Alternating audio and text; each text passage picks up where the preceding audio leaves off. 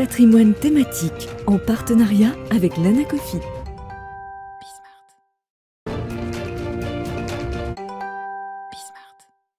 Et c'est parti pour patrimoine thématique, un patrimoine thématique où on va se poser la question de l'orientation de l'épargne vers les PME. Vous entendrez souvent parler euh, dans cette émission d'orientation de l'épargne des Français, de ces montants d'épargne accumulés vers l'économie réelle, vers les entreprises. On va se poser cette question, mais plus spécifiquement euh, du point de vue des PME. On en parle avec Bernard Cohen-Haddad. Bonjour Bernard Cohen-Haddad. Bonjour. Bienvenue sur ce plateau. Vous êtes membre du conseil d'administration de l'Anacofi, mais vous êtes aussi président de la CPME Paris-Île-de-France donc Confédération des petites et moyennes entreprises, qui fait que euh, vous allez pouvoir vous faire euh, la voix finalement des besoins de financement de ces entreprises.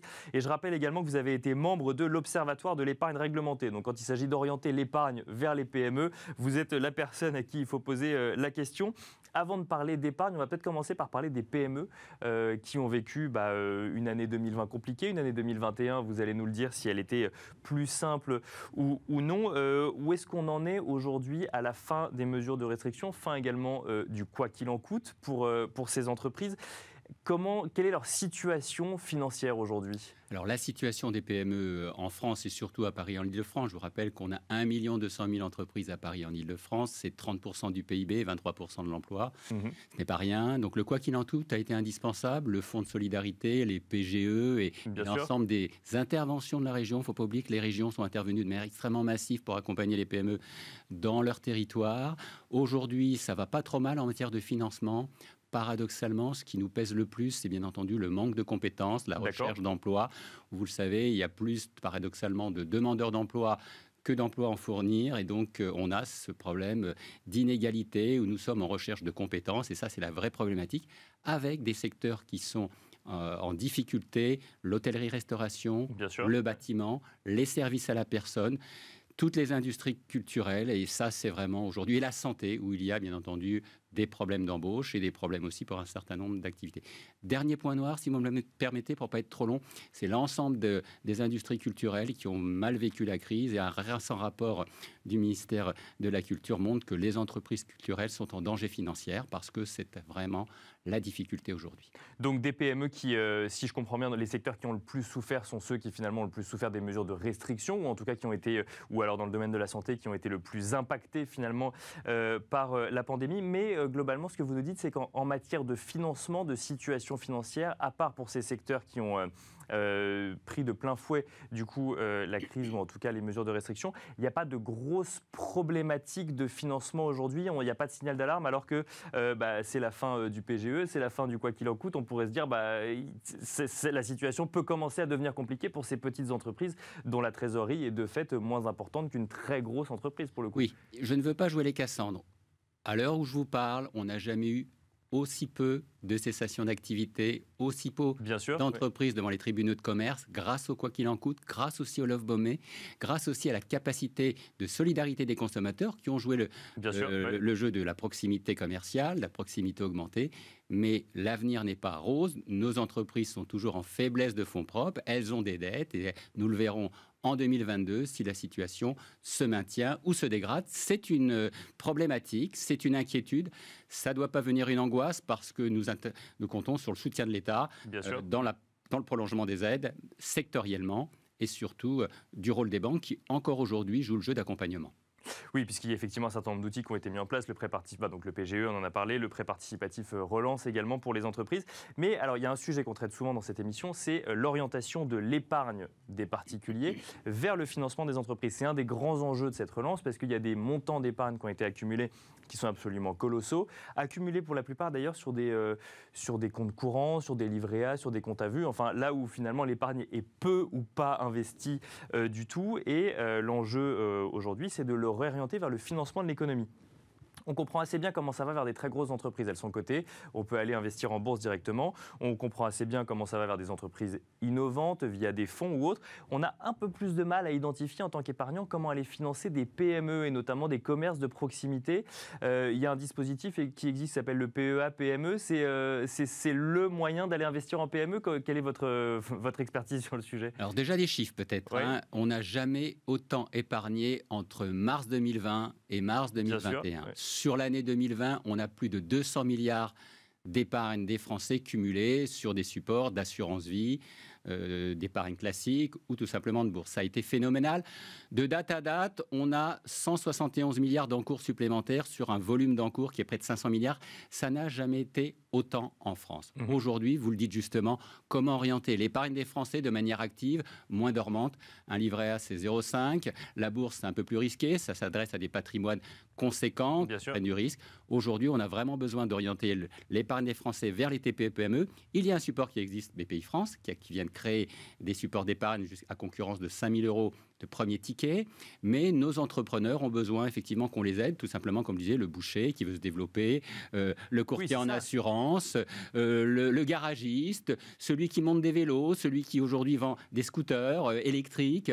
Tout ça fait partie qu'il n'y a pas aujourd'hui de support particulier précis pour faire en sorte que les Français y trouvent un avantage, c'est-à-dire une défiscalisation, une rentabilité immédiate et une sécurité. C'est bien ça les trois enjeux.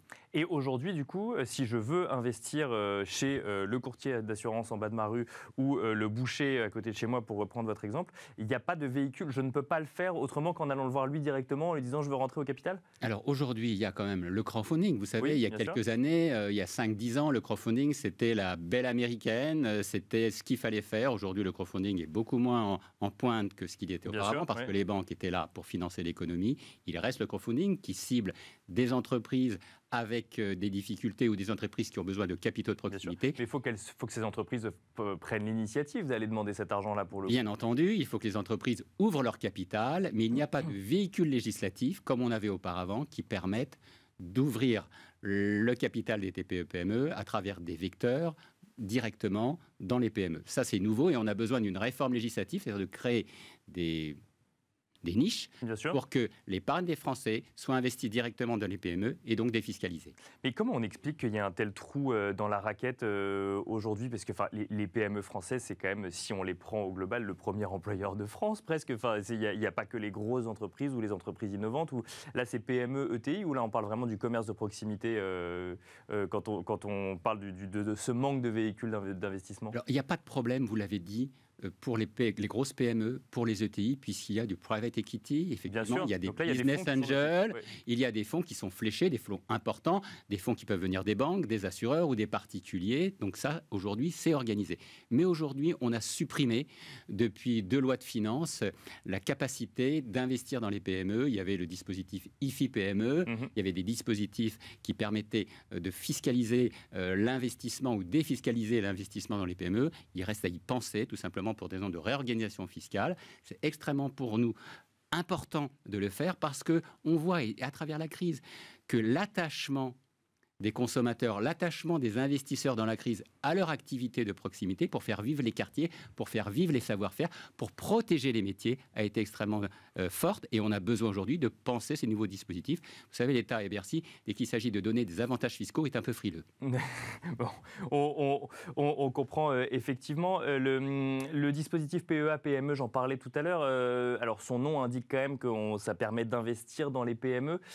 C'est pas suffisant aujourd'hui, vous pensez, pour, pour aller orienter l'épargne vers justement les toutes petites entreprises ou le commerce de proximité? Oui, c'est pas le véhicule qui est ciblé pour ce type d'activité activité, mais le PE-PME est quelque chose d'important. Le livret aussi de développement euh, responsable est quelque chose d'important parce qu'il ne faut pas oublier que nos entreprises se mettent vers l'économie circulaire, vers l'économie responsable. Mais il faudrait que l'État pense, et ce sera sans doute les propositions que nous ferons à l'occasion euh, euh, des présidentielles aux candidats, de mettre des véhicules qui permettent d'orienter dans les quartiers, dans les centres-villes qui sont aujourd'hui déserts, euh, la capacité des jeunes qui créent des activités commerciales, qui créent des activités économiques et de les aider à travers l'argent, bien entendu, des particuliers, mais aussi l'argent des collectivités. Et alors, un mot euh, euh, de, ces entreprises. Alors, effectivement, on euh, ne peut pas faire de généralité entre une activité de boucherie, une activité de boulangerie ou une activité de courtage en assurance. Mais quel serait l'avantage ou l'inconvénient ou qu'est-ce que l'épargnant devrait avoir en tête si jamais il voulait demain investir dans, les PME de son quartier? Aujourd'hui, c'est ce qu'on appelle la proximité augmentée. C'est la capacité pour les épargnants à aider des entreprises qui sont en phase de développement, en phase de développement aussi en matière de numérique. Vous savez que le digital est quelque chose qui est devenu important dans les entreprises. Il y a des startups, mais il y a aussi dans les quartiers, il y a aussi dans les régions, dans les départements, des jeunes qui créent des activités qui sont en lien avec le territoire, c'est-à-dire production locale, autonomie stratégique. Ce sont les deux grands points qui me semblent fondamentaux, à la fois l'autonomie stratégique, le fait que mhm. l'on produise sur son territoire, et puis le, savoir-faire, l'économie responsable, l'économie circulaire. Il y a beaucoup de demandes des consommateurs et des entrepreneurs, et y compris des salariés, de travailler dans cette activité. Et pour cela, qui reste parfois du domaine de l'immatériel, les banques ne sont pas toujours au rendez-vous, même si elles sont très présentes l'épargne des Français doit être nous mener vers une économie beaucoup plus responsable. Donc si je comprends bien, euh, il ne faut pas voir ça comme un investissement, mais comme une manière de soutenir finalement le commerce à côté de, de, chez soi. Vous, on, a parlé du coup de ce qui n'existe pas suffisamment aujourd'hui. Si euh, concrètement demain euh, je veux investir chez mon boucher, la seule solution, c'est celle que vous nous avez donnée, c'est le crowdfunding aujourd'hui. Aujourd'hui, c'est le crowdfunding. Et puis je vous rappelle que lorsqu'on investit, on aime bien que ce soit rentable, même si on est sociétal c'est important aussi d'avoir cette sécurité, cette rentabilité, la capacité, le moment venu, de reprendre son argent, parce que lorsqu'on investit à perte, ce n'est pas toujours agréable, surtout quand c'est les économies de la famille. Merci beaucoup euh, Bernard Cohen-Haddad d'être venu euh, partager avec nous euh, votre expertise sur ces PME, mais aussi sur la façon d'orienter ou non son épargne vers ces PME et sur les trous dans la raquette hein, finalement qui existent. Aujourd'hui, je rappelle que vous êtes membre du conseil d'administration de l'ANACOFI, mais aussi président de la CPME Paris-Île-de-France. Merci à vous également de nous avoir suivis. On se retrouve tout de suite dans Enjeu patrimoine.